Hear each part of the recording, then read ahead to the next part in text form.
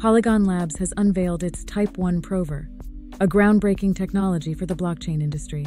This tool enables Ethereum compatible networks to seamlessly integrate as Layer 2 networks within the Polygon ecosystem, enhancing connectivity and efficiency.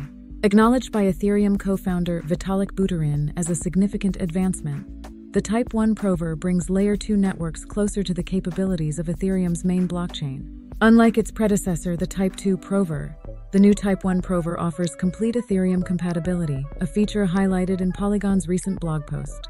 This development is part of Polygon's ambitious Polygon 2.0 roadmap, focusing on zero knowledge cryptography to foster a more interconnected blockchain ecosystem.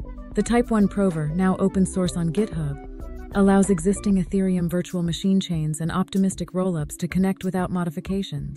They can then access Polygon's aggregation layer, tapping into the vast liquidity and value of Ethereum.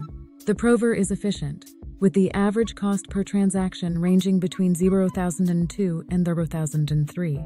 Buterin has noted the advantages of this Prover, particularly its perfect compatibility with Ethereum. However, he also points out the significant computational power required to produce Ethereum-compatible zero-knowledge proofs, which can take hours. Despite this, the Type 1 Prover marks a significant milestone in Polygon's journey towards a more decentralized and efficient blockchain future.